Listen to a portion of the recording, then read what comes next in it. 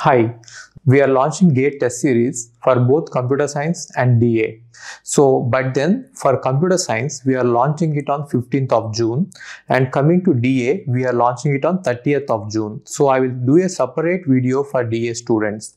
Now, if you have already registered for GATE CS course, you don't have to separately buy it. It is already included in your package. But if you want to separately buy the test series, it will be for 3000. Go to the website ravindrababu.in.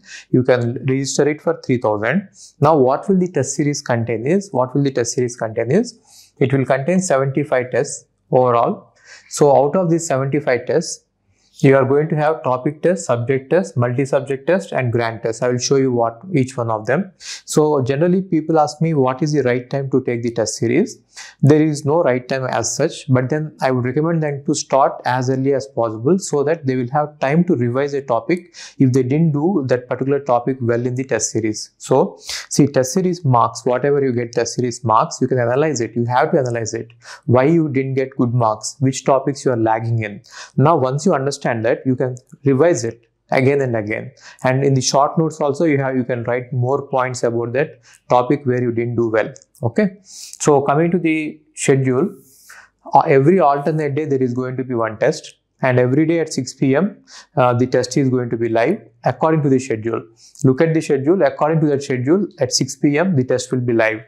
So now initially we are going to start with topic tests, uh, topics of uh, computer network, which means tests will be on the topics. Computer network topics will be there. And after the computer network topics are over, we will have a grand test on computer networks, full length test on computer networks. Then OS test will, subject test will be there uh, topic test will be there. And after the OS topic tests are over then you are going to have full length test of the OS subject. Similarly TOC after TOC topics are over after TOC topics are over we are going to have TOC subject test. And then DBMS after DBMS topics are over after all the topics are over then we are going to have the subject test of DBMS. Similarly PNDS after all the topic tests are over after all the topic tests are over, we are going to have the full length test. Similarly, we do it for algorithms and then engineering mathematics and then compiler design and then DLD and then CO.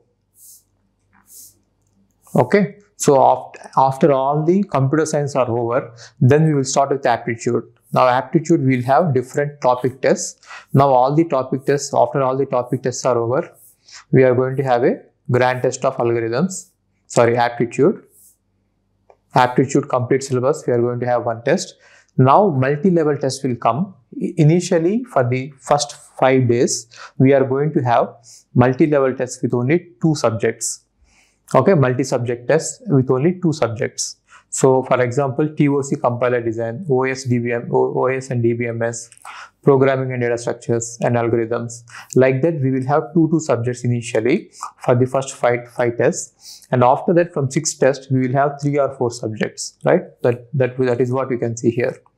Now after that subject multi-level multi-subject tests are over, then we are going to have grand tests like grand test 1, grand test 2, so on. We are going to have grand test till 10.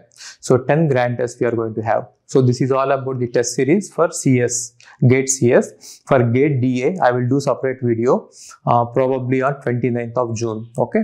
Thank you guys.